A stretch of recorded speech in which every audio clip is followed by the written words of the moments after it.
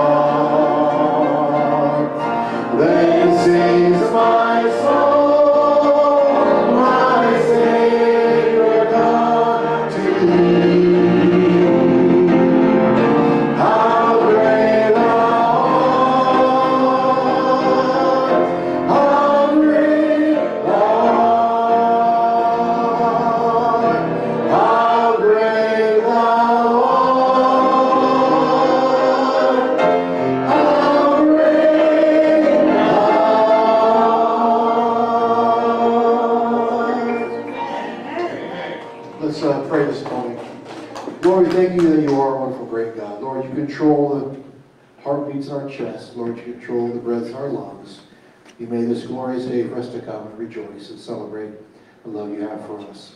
Lord, bless this day, bless our time together, our fellowship, bless the lives of each one, of these individuals, Lord, and the families anyhow, Lord, you continue to share your love through us so that we can share your love to the world. Thank you for this day. Bless us as we continue to worship you. In Jesus' precious name. Amen. Please have a seat.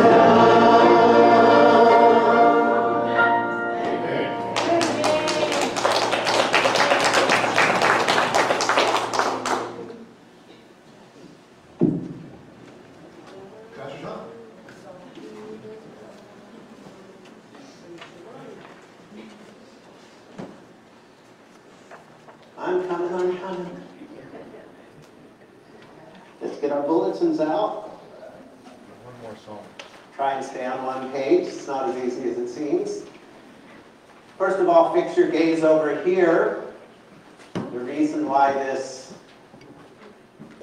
podium is here today is not because someone was lazy and didn't put it away, but because we had that big wedding reception last night till late in the night out in the hall.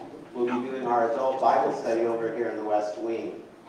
So this is here because I will be here and you will be there at 12 noon. Entiende? Awesome. We are on the same page. And I want to congratulate you for your wonderful study that you're doing. Um, we're getting through it. Today, believe it or not, is lesson number four. Can you believe that? So, we have highlights from last Sunday's message. I hope that you will uh, look at this during the week and continue to track with us because we're going verse by verse for several weeks in the Gospel of John. And it's really hard to retain. I mean, we're hitting a lot of information very quickly. And so it's helpful if you can get back into the things that we studied last week and get ready each week as we move forward. Amen? Amen. All right. Uh, is there anything else that I need to mention today? Wasn't Melissa's wedding beautiful? Yeah, She really honored the Lord by that wedding, Yeah. didn't she? She was wonderful. Okay, well, today is the last Sunday of the month, which means it's time for what? We're still on the same page. It's a miracle. All right, it certainly is time for Bean Smith uh, wheelbarrow. And so this is for North Korea. And we have the Brother Act coming, Big Brother and Little Brother. Kevin, I'm transitioning. Thank you. Appreciate that. Well, hi, guys. Lori's working on a new goal for our collection. We see that uh, 3,000 isn't such a personal best per year. So she's going to find out what we've gotten together as an aggregate since we started this, which was, I think, back in 2017. And whatever we're closest to, to rounding it off in the tens of thousands, we will, uh, we will make that our goal. How's that sound? Good. And uh, do you think that, that we can make that goal? Do you feel confident that we can? Yes. Thank you, Chad. I appreciate your enthusiasm. Okay, so I'm going to dump mine in. Do you want to hold the mic so everybody can hear the beautiful noise? Thank you, Jesus. Once again, this is for what country, guys?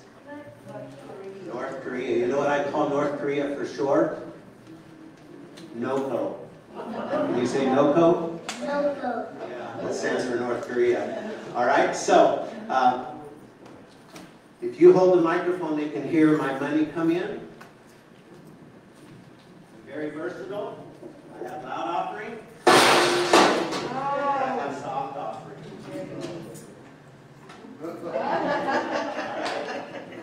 So look at these two handsome guys. Don't you think worthy of at least 300 in the wheelbarrow today? All right, try and make it a heavy load for Cody. He wants to show off his muscles today. All right, uh, as you feel ready, come on up and give to uh, Bean's wheelbarrow.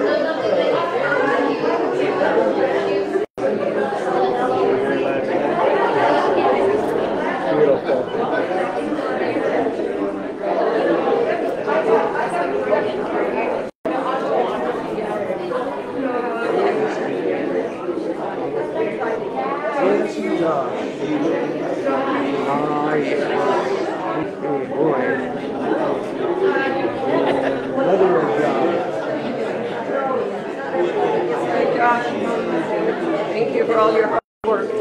She saw all the pictures of the cats on the crate. Yeah, so, so cute. Good morning, Jackie.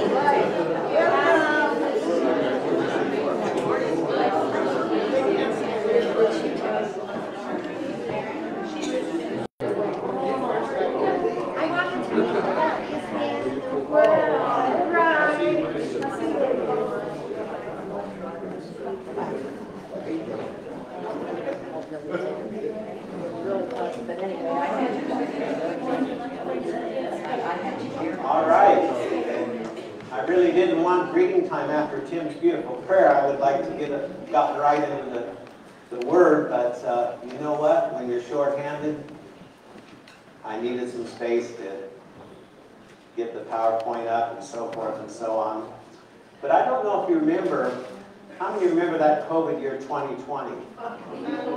And they tried to keep us locked down indefinitely, and we decided as a church, enough of this. And so we reopened, I don't know if you remember, on the very last weekend of May in 2020. Mm-hmm. And you might remember that someone who came in to join us that Sunday, that historic day, was Tim. So we've seen him a few times at our church. You might have remembered at times when he's run for Congress that that's the kind of guy he is. Uh, he likes his freedom and he's fought for his freedom. And we appreciate him stepping up like that. I'll never forget when we opened up that day. It was kind of, you know, a little bit of a nervous time. And he came in and that just lifted the pastor's heart so much. So thank you, Brother Tim, for always being with us. We appreciate your brotherly kindness and your support of us. And I'll tell you what, we have the newlyweds here today. Uh, why don't we have Norman and Melissa stand one more time?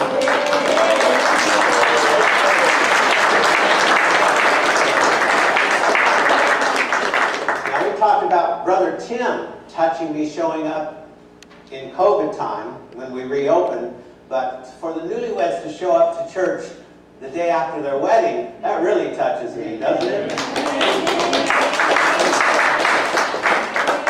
Well, again, I'm a perfectionist, so you know, I'm really bothered that we didn't get the screen uh, the way we wanted it, but if we tried to do that, you'd still be waiting for church to start because it would have been on me. So um, just ignore it, pretend like it's centered, and then my perfectionist ways will be appeased. As long as you think it's centered, my perfectionist ways will be satisfied. How many think it's centered? All right. Well, we began last week back in the Gospel of John. We do a little bit every year. Uh, most most of the time. Last year we diverted to the Book of Revelation, as I said before.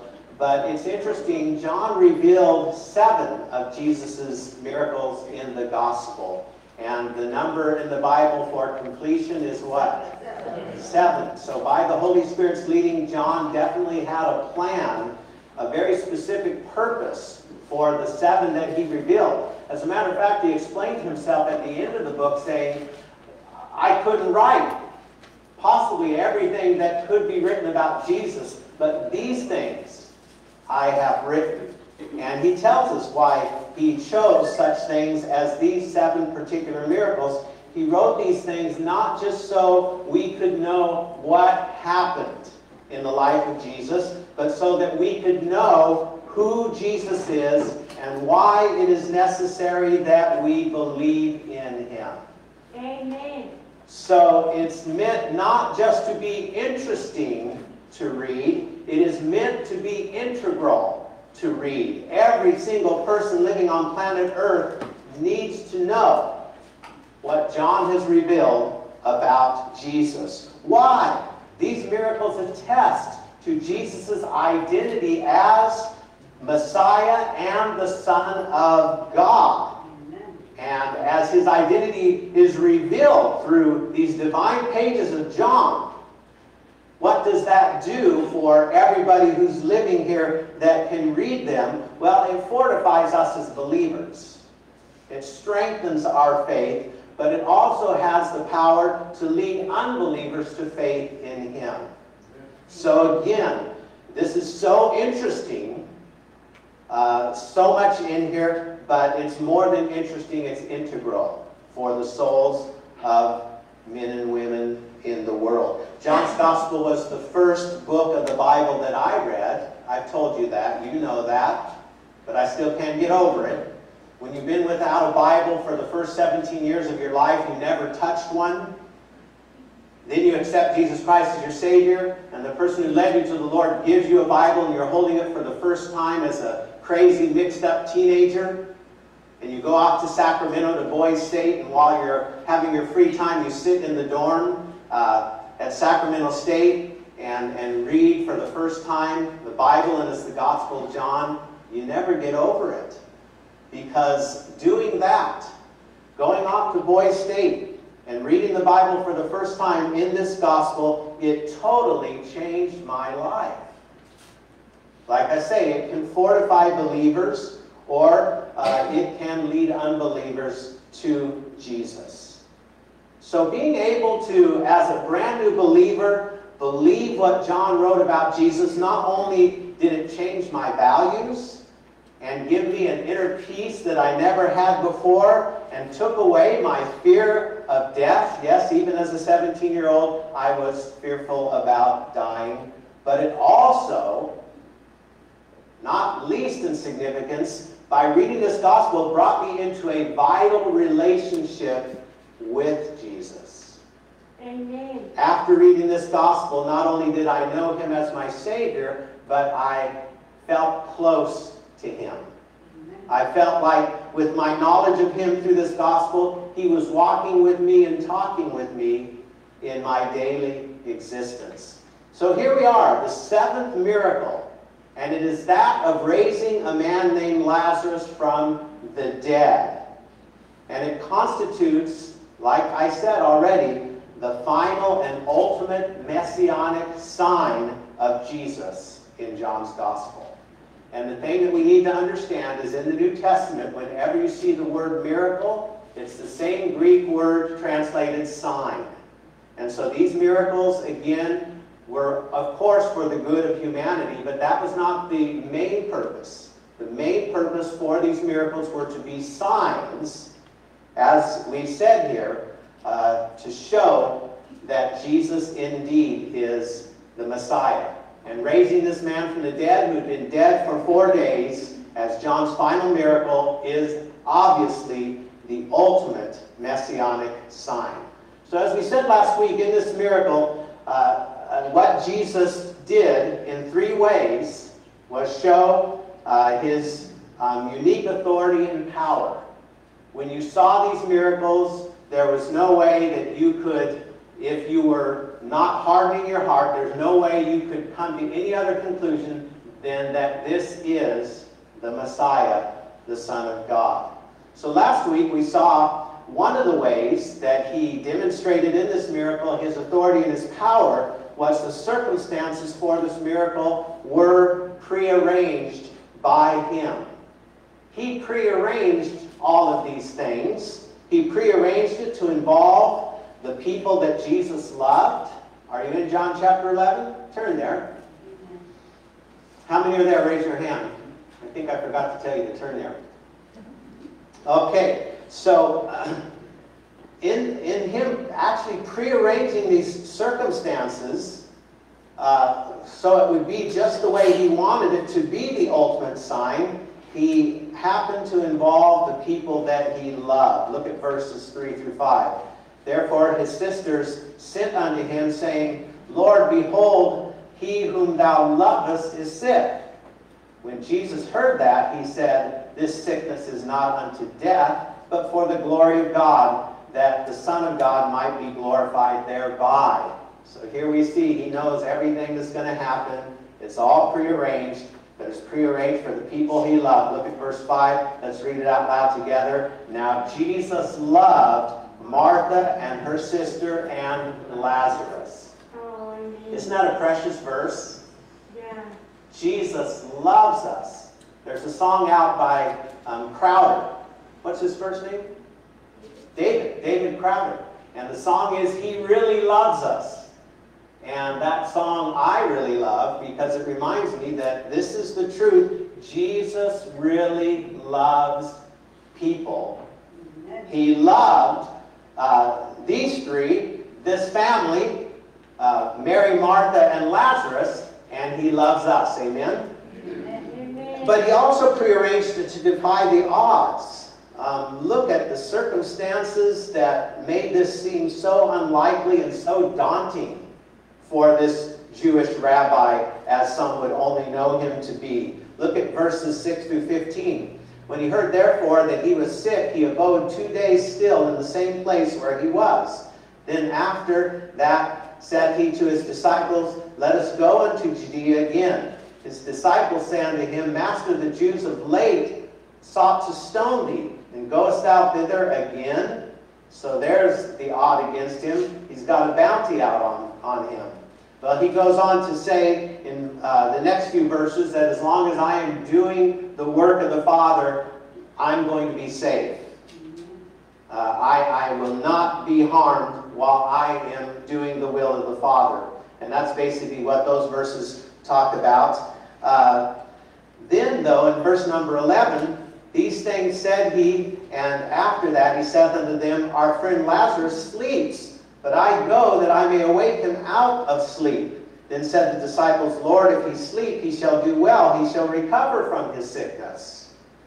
We're fishermen, we're not doctors, but we know we prescribe bed rest for Lazarus. Let him sleep. Howbeit Jesus spake, spake of his death, but they thought that he had spoken of taking of rest and sleep. Then said Jesus unto them plainly, Lazarus is what? So here's another odd that he has to defy. He's, he's not making this easy. He says in verse 15, And I'm glad for your sakes that I was not there, to the intent ye may what? Believe. Okay, so we see why John's including these things.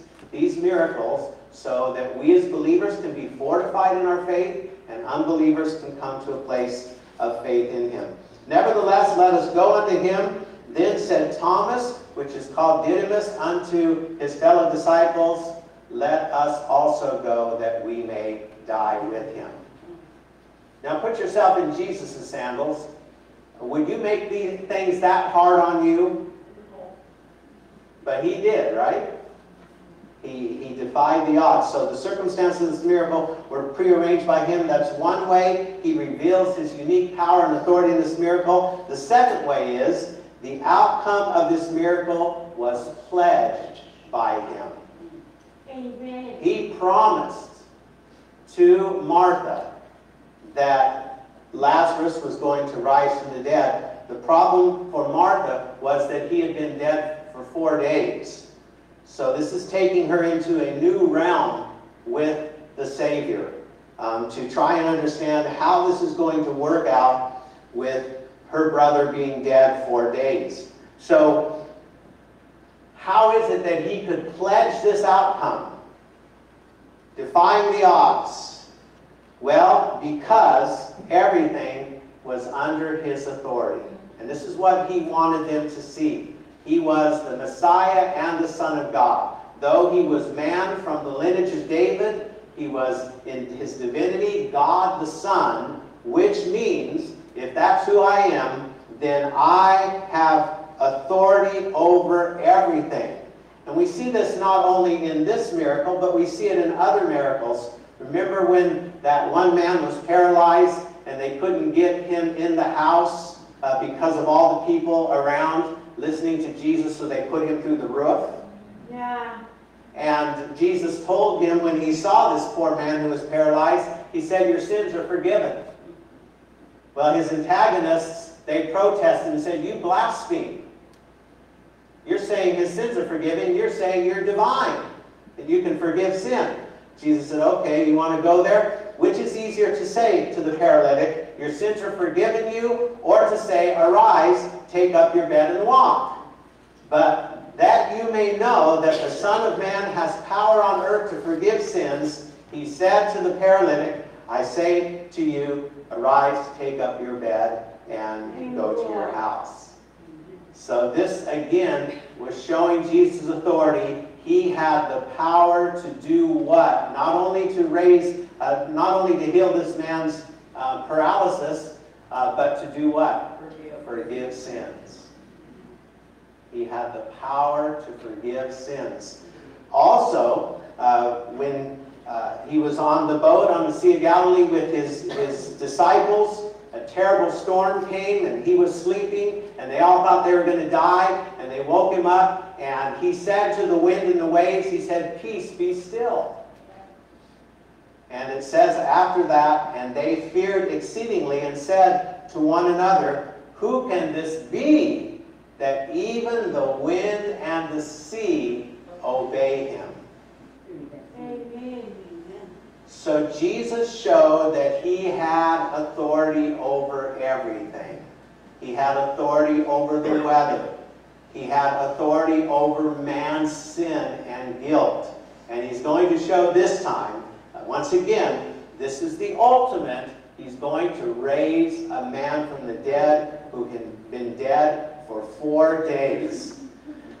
Now, he had to give this pledge in rebuttal to Martha's musings. She was trying to think all this out. She was trying to rationalize all of this. And she needed to be straightened out in her understanding of Jesus' authority. So let's get back to the narrative. Let's look at verse 20, uh, uh, 20 uh, 17, excuse me. So four days had passed. When Jesus came, he found that he had lain in the grave four days already. Now Bethany was nigh unto Jerusalem, about 15 furlongs off, two miles. And consequently, many of the Jews came to Martha and Mary to comfort them concerning their brother. So this family must have been pretty prominent because the elitist crowd was coming from Jerusalem to help her mourn So she had connections. She's a significant, uh, Martha and Mary, they're significant, uh, Lazarus, they're a significant family. Then Martha, as soon as she, verse 20, as soon as she heard that Jesus was coming, went and met him, but Mary sat still in the house. And this is her musings. Look at verse 21. Then said Martha unto Jesus, Lord, if thou hadst been here, my brother had not died. Now, this was not a rebuke to Jesus. This was a testimony of her trust in his healing power. What she was just saying was, Lord, hypothetically speaking, had you been here because we know of your healing power, you could have cured him from his illness and he wouldn't have died. A lot of people think that at this point Martha is rebuking Jesus, but we know from the geography that that's not the case from the geography and the situation of four days. Um, they're, in Beth- they're in Bethany, right? Jesus had left Jerusalem because they wanted to kill him. We saw Thomas say that. If we go back there, we're going to die. So where did he go? He went up to this area of Perea, beyond the Jordan River, where John used to baptize. So when they sent the messenger, it took him one day to get to Jesus. After Jesus got the message, he stayed here two days, and then he went to Bethany. So one day here, two days waiting, one day back. One plus two plus one equals four, right? Yeah. So what does this mean? This means by the time that servant got to uh, Jesus, Lazarus had already died. Oh, Because it took him one day to get there. It took Jesus two days not to do anything and one day to get back. That was the four days that Lazarus had been dead. Most likely, Lazarus had already died before the messenger came to Jesus. And he said, Lazarus sleeps. Lazarus is dead. That's what he told them. Um, so what she's trying to do is basically she knows Jesus loves Lazarus. She's trying to commiserate with him and encourage him. Oh Lord, I know you're you're you're probably you know very very sad about this, and, but feel better about this. If you would have been here, he would you could have healed him because that's who you are. You could have done that. Um, so this is her musings. And now she says in verse 22, But I know that even now, whatsoever thou wilt ask of God, God will give it thee. She was not saying at this point, listen to this, she was not saying that she believed Jesus could raise Lazarus from the dead. How do we know that? Well, look at verse 39. She wasn't believing at that point that Jesus could raise him from the dead because at verse 39, when Jesus said, Take ye away the stone, Martha said, Martha, the sister of him that was dead, saith unto him, Lord, by this time he what? Stinks, for he has been dead for how long? what day? Four days. She's saying, Lord, we don't want to do this. It's going to be gross. So she wasn't believing. Again, this was a statement to encourage him. Uh, they were all mourning. She's trying to, you know, comfort Jesus that someone he loved very much, Lazarus, had died and he wasn't there to stop it from happening. So when she says in verse number 22, but I know that even now, whatsoever you will ask of God, God will give it me. She knew he had a special relationship to God so that his prayers could bring some good from this sad event. So, okay, Jesus, uh, you have so much power with God. You're here now, and because of your power of prayer, you can make things better for us. So we're so glad you're here now. That's kind of Martha's musings. Well, that leads him to not only show that he had authority over everything, but now we transition to this very specific authority that he had. He could pledge this outcome because he had power over death. Back to Martha's musings in verse 24. Martha said unto him, Lord, I know that he shall rise again in the resurrection when? At the last day. She's thinking into the future. Once again, everything she said before, was just to comfort Jesus. It was not a rebuke. It was not a belief that he was going to raise Lazarus. We saw that from verse 39. She now, though, is saying, hey, let's look to the future. We know that last day is coming, and when that last day comes, he, what's going to happen with my brother? He's going to rise from the dead, right? So being Martha brought it up, blame it on Martha. We've got to get a little eschatological this morning and talk about this matter of the last day. Being Martha brought it up. So if I lose any of you, don't blame it on Pastor Tom, blame it on Martha. When you get home, you just say, oh, Martha. Oh, All right? But we got to talk about this. This is so important. Do you know uh, this term? Look at it here in verse number 24, the last day. Do you know this term is only found in the Bible in the Gospel of John? You won't find that term relating to prophecy, the last day, anywhere but in the Gospel of John.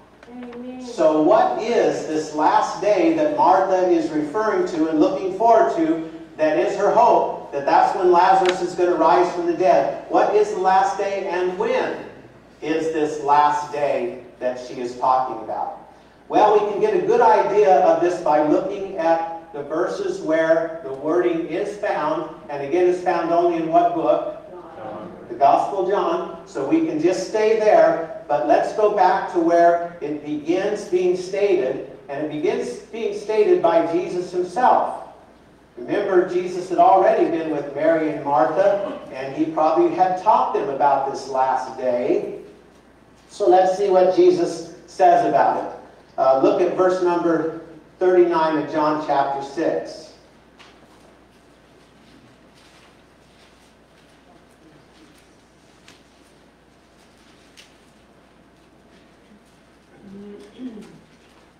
By the way, First Lady's filling in for Janine on the slides. Isn't she doing a great job? Way to go, First Lady. All right, verse 39. And this is the Father's will which has sent me, that of all which he has given me, I should lose nothing, but should raise it up again. What's that preposition? At the last day. Now go on over to verse number 40. And this is the will of him that sent me, that everyone which sees the Son and believes on him may have everlasting life, and I will raise him up, preposition, at the last day. Now let's go to uh, verse number 44.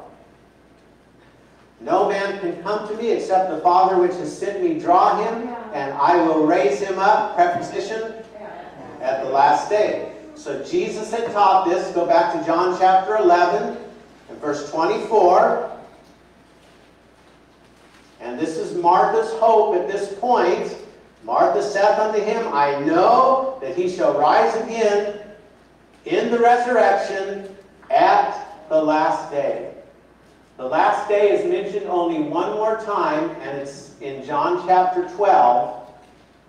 And all of a sudden, this is what helps us to really understand uh, what might be meant by the last day and when the last day is in John chapter 12 and verse 48. Jesus says, it's the last time this term is used in the Bible, he that rejects me and receives not my words has one that judges him. The word that I have spoken, the same shall judge him. Different proposition, not at, but what? In, the last day. So this helps us to understand. Every other time the preposition is at the last day, there will be a resurrection. At the last day, there will be a resurrection. But in the last day, there will be, according to Jesus' teaching in verse 48, there will be judgment. Amen. Look at it one more time. Blame it on Martha. I'm getting into this. Follow me. Okay, look at it again. He that rejects me and receives not my words has one. What's the word? Not resurrection, but what? Judgment. Judges him. The word that I have spoken, the same shall, not talking about resurrection, shall do what? Judge him in the last day. So, from the prepositions given to us of the Holy Spirit, we know that at the moment of the last day, there is resurrection. At the moment of, of the last day. And in the last day, there is Judgment. judgment. Wow. Just paying attention to the prepositions. So if I call you up and I say to you, you say, Where are you? And I say, I'm at the ocean. You probably think that I'm standing near the beach. But if you call me up and you say, Where are, are you? And I say, I'm in the ocean, you say, What are you in the ocean with your cell phone for? You're going to ruin it. But there's a little difference between being at and in. Being at means you're close to or right at. I'm right at, but being in means you're in. So what does this tell us? If we uh, if we look, we will see that the last day is not a single day. No. It doesn't happen at the very end of the world that there's this resurrection and judgment at once. It's a time period that begins with the resurrection of believers, which is the rapture, and extends into a period of time when God judges unbelievers. All right? So before God judges the world of unbelievers, he does that great air rescue, and that great air rescue, the rapture, involves another R word resurrection. Okay? So the rapture comes, that is the beginning, the starting of the last day, and then the last day proceeds over a period of time for the rest of time when we're out of here, and what is God doing to the people in the world? Judging them when? In the last day. So, a synonymous, synonymous term in the Bible, like I say, this is only found in the Gospel of John. A synonymous term everywhere else in the Bible is the last day is the same thing as the day of the Lord. Amen. What precedes the day of the Lord? Resurrection and rapture. What happens after resurrection and rapture? The day of the Lord, a period of time that extends where God judges unbelievers, just like Jesus said. Look at it again. Verse 48 He that rejects me and receives not my word has one that judges him.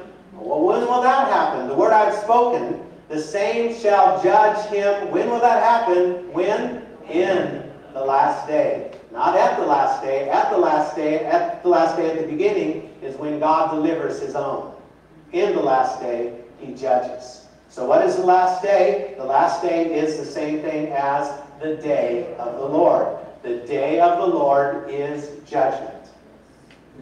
We see how this works if you look at Isaiah 34 8 on the screen. God equates the day of the Lord involving two things. For it is the day of the Lord's vengeance, the day, but it is also the what? Year of recompense for the cause of Zion. So the day of the Lord is not a single day. The last day is not a single day. It is a day that projects to at least how much time? A year. It's not a literal single day. So thank you, Martha. I'm so glad to share this with my peeps.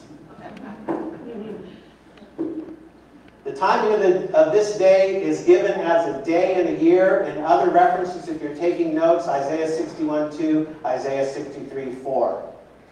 This year long day of the Lord is probably what Jesus and Martha were referencing when he spoke of the last day. So, Jesus had to correct Martha's musings, and he does this in two of the most beautiful verses in the Bible. Let's go back to John chapter 11 and verses 25 through 26. Jesus said unto her, to correct her, her rationalizing, Jesus said unto her, We don't have to look forward to the last day. Because guess what? I am presently the resurrection and the life. He that is believing in me, though he were dead, yet shall he live. Amen. Wow. Amen. What does John MacArthur say about verse 25 when Jesus gets Martha all straightened out about who he is and what he can do? John MacArthur says with this statement, Jesus moved Martha from a general affirmation of the resurrection that will take place at the last day to a personalized trust in him who alone can raise the dead. No resurrection or eternal life exists outside of the Son of God. And here's our little explanation to Martha. Time at the last day is no longer, is, is no barrier to the one who has the power of resurrection and life, for he can give life when? Anytime. So imagine this. Martha's talking about the last day, not wanting the stone to be rolled away because he stinketh. She thought Jesus just wanted to see him one more time. No, Jesus, don't go there. All right? And now he's saying, Martha, this is going to be solved right now because of who I am. I am the resurrection. Not I will be. I am right now the resurrection and the life. All life is in my control, in my power, in my authority. Mm. And I Jesus Christ can determine who lives and dies at any given minute. And if someone dies, if I want him to live, he can live again. That's our Jesus. Amen. Verse 26. Icing on the cake. And whosoever is the one living and believing in me shall never die. Now, Martha, do you believe thou this? And she said unto him, Yea, Lord, I believe that thou art the Christ, the Son of God, which should come into the world. And yes, if you believe that, then the resurrection of your brother comes with that. It's all in one package, Martha. You believe that I am the Christ, the Son of God, that I am the promised Messiah from the line of David, but the pre-existent Son of God, becoming man in the line of David. You believe that? With that package comes today the resurrection of your brother, even though he stinketh. Amen. My goodness. Lives here in verse number 26. Lives, excuse me, in verse 26. Whoever lives refers to those who have spiritual life now. Those who believe uh, shall never die and that they ultimately triumph over death. Whether Jesus wants to do it presently or when at the last day. The rapture, right? So, I want to wrap up today and tell you how meaningful this verse is, not only the first time I ever read it, but one other time when I heard it. Um, there's this young man that's, his picture's up on the screen right now, Timothy Watkins. And uh, there was an Associated Press article concerning this dear young man. It read, an Army specialist from this Southern California desert town was among five soldiers killed by a powerful roadside bomb that shredded their heavily armored Bradley fighting vehicle during a recent operation in Iraq, military officials said. Uh, man, I'm ha- I've, I've had a busy weekend. I'm uh, drawing a blank. I've got to refer to my friend here, Tim, SPC specialist. Specialist, thank you. Specialist Timothy Watkins, 24, died October 15th while participating in a combat mission in Ramadi, a mostly Sunni Arab city about 70 miles west of Baghdad, the military announced Tuesday. He and the other soldiers had been assigned to the 2nd Battalion, 69th Armor Regiment, 3rd Brigade, 3rd Infantry Division in Fort Bennings, Georgia. In August, Watkins spent two weeks at his parents' home after serving for seven months in Iraq, said his father, Rob Watkins. His father, Rob Watkins, is my friend. He's a pastoral colleague. and his son died suddenly in Iraq. He had just been home with them. He had already served. How long had it been? Uh, seven months. He went back and he died. Oh. And I've, I've known this, this pastor for years. Uh, this is he right here. He spoke at our church before. That's me looking quite younger. But I'm still as buff. That hasn't changed. And there's his dear family. And there's the heartbroken mother. And we gave them a flag that flew over uh, uh, the ship in Pearl Harbor in memory of their son. But I was so heartbroken, so shocked to hear about Tim Watkins dying in Iraq that when the funeral happened, uh, my assistant Ron Glover and I, we drove all the way to Yucca Valley to his funeral. And his dad preached his son's funeral. There were so many people we couldn't even get in, in, in the church uh, auditorium. We stood outside and listened to his dad, his heartbroken dad, using his boy, his 24-year-old boy, senselessly in that roadside bombing, that uh, IED. Is that right? Glad Tim's here today.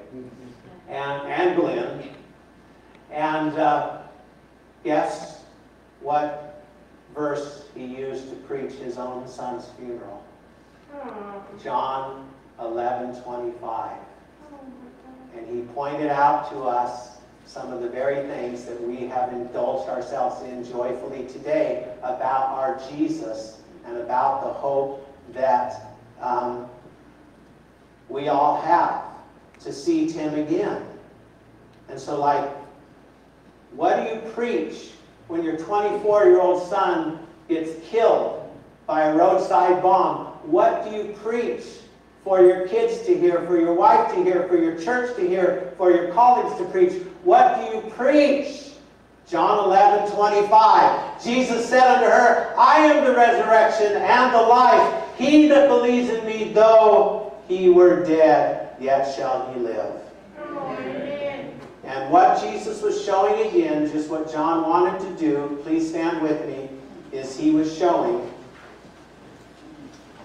that he is the fulfillment of Psalm 49:15. Let's read that all out, out loud together. But God will redeem my soul from the power of the grave, for he shall receive me. All right? Who redeemed Lazarus from the power of the grave? Jesus. So, who's the only one who can do that? But, but God. Jesus was showing in this ultimate miracle in John's Gospel, the seventh one, John was using this miracle to show that Jesus is whom? God. Because by raising him from the dead after four days, it showed that God redeemed Lazarus' soul from the power of the grave. So this is our Jesus. And this is why we stick with the stuff.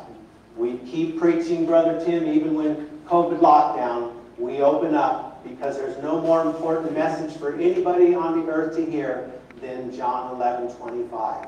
Because it happened to my friend Rob Watkins, and it's going to happen to all of us if we live long enough. There's going to come that phone call in our lives where there's going to be the death, the unexpected death of someone we love so dearly that we will literally fall to the ground in shock and horror and sadness. We will lose our bearings. That will happen to us if we live long enough. A tragic death. But we have what Rob Watkins has. We have John 11 25. John 11, 25. And so let's bow our heads and just rejoice in our Lord because He can keep you from dying as long as He wants you to live on this earth. But if He allows you to die just before the day of the Lord, just before His wrath, at the last day, there will be a what? Resurrection. There will be the rapture. Amen. Amen. Father, we praise you and thank you that your word is so full. It takes so much time to cut out what we want to say as we approach the Gospel of John. We're just like John. He could have wrote so many other things, So many other things could be said today, but suffice it, Lord, as we've asked you to guide us and lead us, that we got to celebrate your Son today. And we praise you that he is your Son and that he is our Savior. And we ask for everybody, everybody who is hurting right now uh, over the loss of loved ones, that you'll just cheer them today by the remembrance, Jesus, that you have absolute power and absolute control over everything that is created, and that you have an eternal plan for us, Lord. So we praise you that your word changes us. It takes away our fear of death. It realigns our values. It gives us an inner peace that we never experienced before. We praise you, Father. We praise you, Son. We praise you, Holy Spirit, that your word changes us for the good. We also ask, Lord, that you have your hand upon our dear newlyweds, Melissa and Norman. We thank you so much that they've joined us in the fellowship today. And Lord, we pray that you give special blessings to Tim and Debbie, Debbie Escobar, who have been so kind to come alongside us today, Lord, and bring this very special worship to your house. In Jesus' name, amen. Amen. Okay, you'll need to turn to page 87. We don't have this one on the slide. Tim will lead you in a departing song.